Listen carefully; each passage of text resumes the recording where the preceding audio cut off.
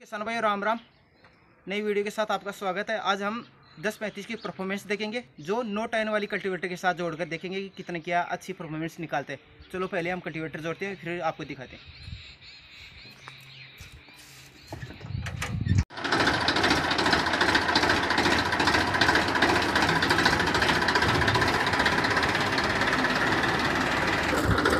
Hello किसान भाई देख सकते हो आप? नो टाइन वाली है। दो, तीन, चार, पाँच और चार अंदर है। एक, दो, तीन, चार। तो देखते हैं पैंतीस एच श्रेणी में कितना क्या परफॉर्मेंस निकालता है फुल लोड के साथ।